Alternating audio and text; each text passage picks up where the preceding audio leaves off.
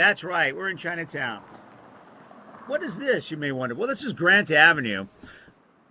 That's the main and oldest street in San Francisco, but this is Dragon's Gate. Now, the dragons are not the two things on either side. There the dragons are. When you come to Chinatown, people always ask, uh, oh, those are the dragons? Nope, the dragons are up top. So, what are the two things on the side? They're lions, actually, and they guard the gates of provinces. This is the male lion. As you can see, he's clutching a pearl. There's the pearl.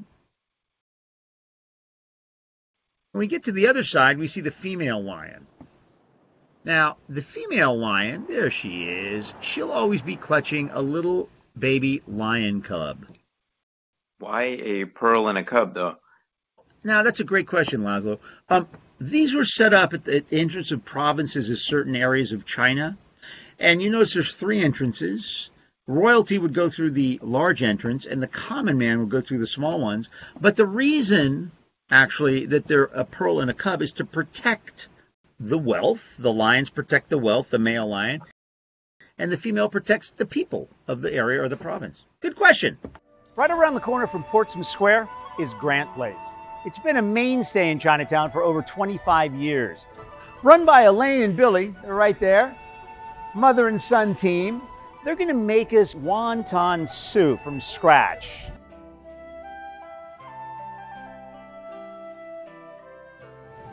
Now that looks amazing. I can't wait to sit down and enjoy it, frankly. Any other questions? Any other answers? Any comments? Let's move to North Beach. You know, LA has celebrities, New York has celebrities, San Francisco has some too. That's a painting of Paul Kantner. He was in San Francisco band Jefferson Airplane and Starship. He actually lived in that apartment. This again is Grant Avenue, North Beach side. Right up the street from Paul, another very famous 60s rock luminary, Janis Joplin. She lived in that apartment. And now I'm going to ask you guys who you think this next person is. Anybody? Uh, that's um, that's Courtney Love, man.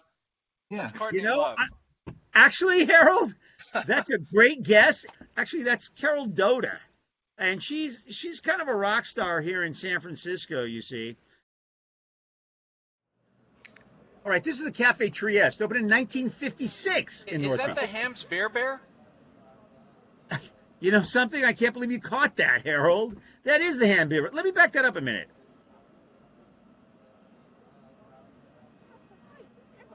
Right there.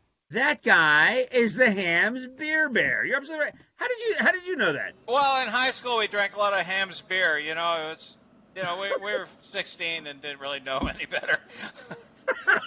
but let's continue the North Beach tour, shall we? See this guy on a typewriter with a beard? Anybody know who that is? He's pictured on a window of the Trieste, huh? That's Ginsberg. That's no, Jack that's Galif- a good guess. Jack uh, Galifianakis, that guy? no, I uh, don't. Anyone else? Any other guesses? Man, these old hippies kind of look all alike, man. I mean... Yeah, oh, that's uh, um, the guy with Steve uh, uh, Wozniak. Steve Wozniak. It does kind of actually look like Steve Wozniak. No, it's actually Francis Ford Coppola.